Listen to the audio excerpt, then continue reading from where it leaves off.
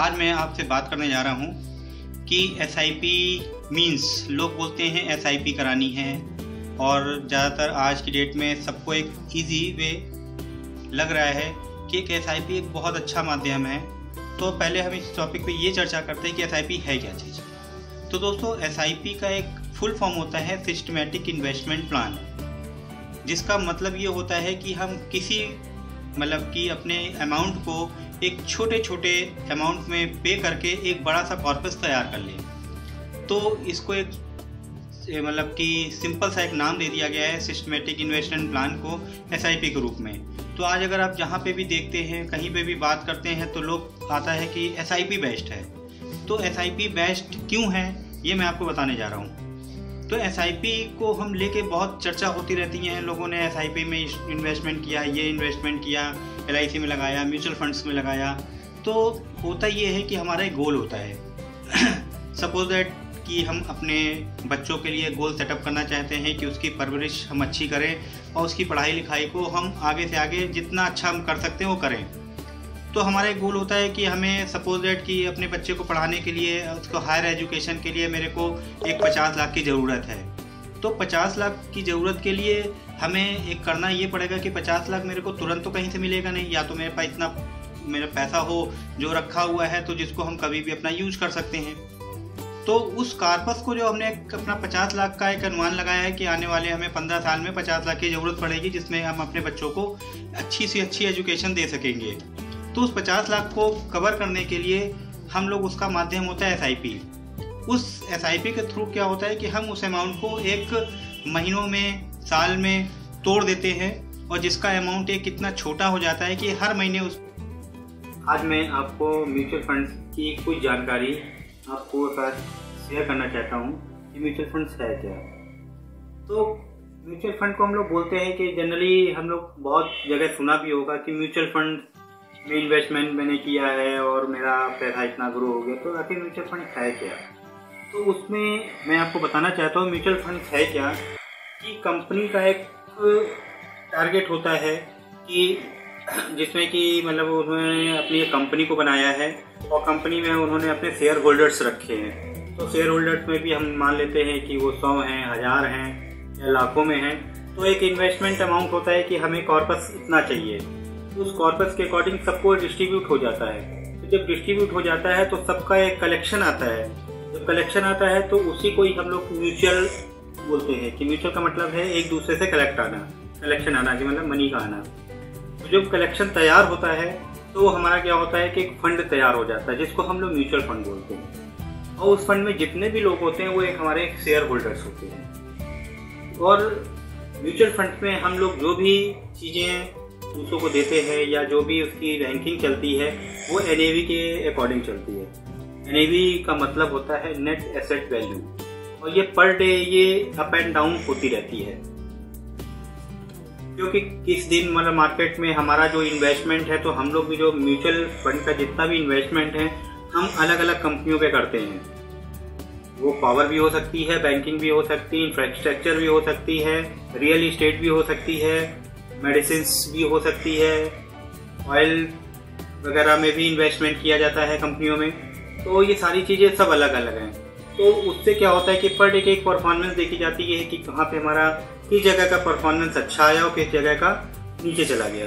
तो total all over जब हम उसको कैलकुलेट करते हैं तो पर डे हमारी एक एन जनरेट होती है, जिसमें ये हमारा निष्कर्ष निकलता है कि हमारी वैल्यू आज हमारी एक रुपये बढ़ गई, दो रुपये बढ़ गई, या पैसों में बढ़ गई, या कभी कभी क्या होता है कि वह वैल्यू मेरी नीचे भी चली जाती है। तो ये पर डे का एक चलता रहता है सिस्टम तो उसको हम लोग उस पर मायने ज़्यादा नहीं रखते हैं। लेकिन इससे होता ये है कि अगर ऑन एन एवरेज देखें तो पर ईयर का अगर हम लोग एवरेज देखें तो ये बैंक से थोड़ा हमारा ऊपर ही चलता है। आज हमारा बैंक जो है, करीब पाँच परसेंट या सवा पाँच परसेंट की रेट पे आ गया है। लेकिन अगर म्यूचुअल फंड्स को अगर आज भी हम देखें तो करीब आठ परसेंट का रिटर्न हमको ये देके जाता है। चाहे मार्केट किसी भी तरीके से अप एंड डाउन हुई हो। क्योंकि इसमें पर डे की हमारी जो नेट एसेट वैल्यू जो होती है अप एंड डाउन होती रहती है, लेकिन ऑन एवरेज जब हमारा पूरा कैलकुलेशन होता है हम साल का पूरा कैलकुलेट करते हैं तो मेरा जितना भी अमाउंट जमा है तो उस पर जब हम निकालते हैं तो करीब मिनिमम आठ परसेंट या थोड़ा नीचे भी हो सकता है, और कभी कभी तो ये बढ़ के हमारा 25 परसेंट या 30 परसेंट तक की ग्रोथ पे चला जाता है। तो ये अलग मैटर है कि वो किस कंपनी में शेयर मतलब किस कंपनी में म्यूचुअल फंड को इन्वेस्ट किया गया है, कितने परसेंट पे किया गया है, कितने रेशियो पे किया गया है, ये मैंने हमारा म्यूचुअल फंड का रहता है। लेकिन म्यूचुअल फंड बेस्ट इसलिए है कि हम लोग एक छोटे छोटे अमाउंट से भी इसका स्टार्ट कर सकते हैं। लोग कहता है कि मेरे पास पेमेंट नहीं है, हम पेमेंट ज़्यादा आपको नहीं दे सकते हैं। तो यहाँ पे अगर आप एक सिंपल सा अमाउंट देखें तो एक पाँच सौ रुपये से भी आप एक एसआईपी अपनी स्टार्ट कर सकते हैं और जब तक आपकी इच्छा हो आप चला सकते हैं। इसमें दो तरह के इन्वेस्टमेंट होते हैं। एक हमारा ओपन एंडेड होता है और दूसरा हमारा क्लोज एंडेड होता है। ओपन एंडेड का मतलब ये होता है कि किसी वक्त भी हम पैसा अपना विड्रॉ कर सकते हैं। क्लोज एंडेड में एक रेशियो लगा होता है कि हम तीन साल से पहले किसी भी फंड को विड्रॉ नहीं कर सकते हैं। अगर हम एसआईपी के थ्रू अगर हम क्लोज एंडेड लेते हैं तो आप ये मान के चलिए कि तीन साल के बाद आपकी एक एसआईपी का पैसा फ्री होता है। अगर आप टोटल एसआईपी का पैसा चाहते हैं तो उसके लिए हमें करीब छः साल का वेट करना पड़ता है। क्योंकि एक एक एसआईपी हर महीने हमारी फ्री होती जाती है। ओपन एंडेड में हमारा ये होता है कि आज मैंने सपोज़ दैट एक लाख रुपए मैंने आज लगा दिया और मार्केट ने अच्छा परफॉर्मेंस दिया तो महीने भर में अगर हमारा कुछ नहीं, अगर पाँच परसेंट का भी प्रॉफिट बुक कर लिया तो हम उसको विदड्रॉ भी कर सकते हैं। लेकिन इसमें चीज़ और भी आती है कि किसी वक्त भी हम अगर इसको विड्रॉ करते हैं तो अगर वन ईयर के अगर पहले कर देते हैं तो एक परसेंट हमारा एग्जिट लोड भी इस पर लग जाता है। लेकिन वो एक नॉमिनल होता है तो इसलिए उस पर ज़्यादा कोई फ़र्क नहीं पड़ता है। आज की डेट में म्यूचुअल फंड में हमारे स्टैम्प वैल्यू का भी चार्जेस कट रहा है। तो वो भी एक नॉमिनल है कि अगर हम उसको हज़ार रुपये पे देखते हैं तो करीब वो पैसों में होता है। कहीं पचास पैसे होता है, कहीं एक रुपये होता है। कहीं पाँच रुपये तक भी हो सकता है तो वो अलग अलग डिफर होता है। तो आज की डेट में कंपनियाँ स्टैम्प चार्जेस भी काट रही हैं। लेकिन ये है कि अगर बाकी किसी भी बेस पे अगर देखा जाए तो हमारा म्यूचुअल फंड आज भी बेस्ट है।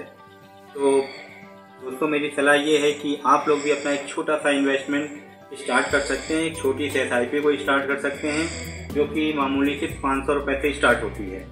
और उसको आप अपना होजन देख लें कि हमें तीन साल के चाहिए, पाँच साल चाहिए, दस साल चाहिए, पंद्रह साल चाहिए।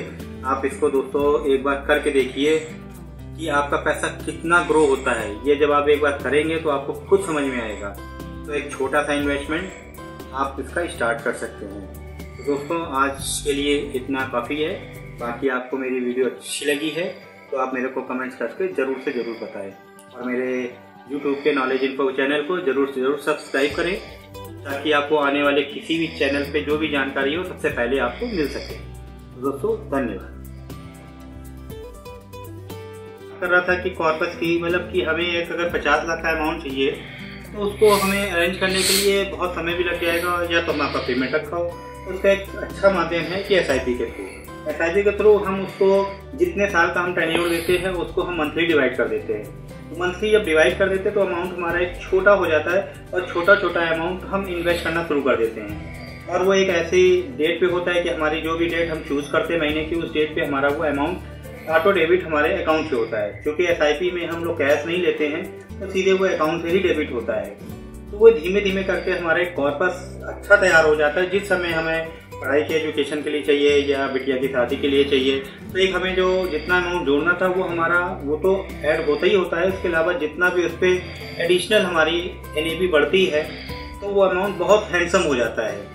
अगर हमने पचास हज़ार का वहाँ पे रेशियो लेके चला और पचास हज़ार को डिवाइड करके हम उसकी एस को चला रहे हैं तो उस समय हमारे आने वाले पंद्रह साल पे उस मतलब हमारे इन्वेस्टमेंट की वैल्यू करीब एक करोड़ रुपए होगी, जो कि बहुत हैंडसम अमाउंट है।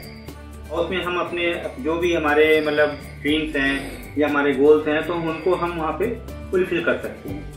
तो आज के समय में हमारी जो शिप है, जिसको हम एस आई पी बोलते हैं, ये बहुत ही बेस्ट है इन्वेस्टमेंट के लिए।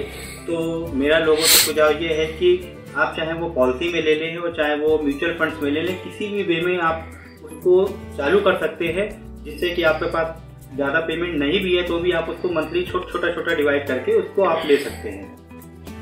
तो दोस्तों, ये जानकारी आपको कैसी लगी?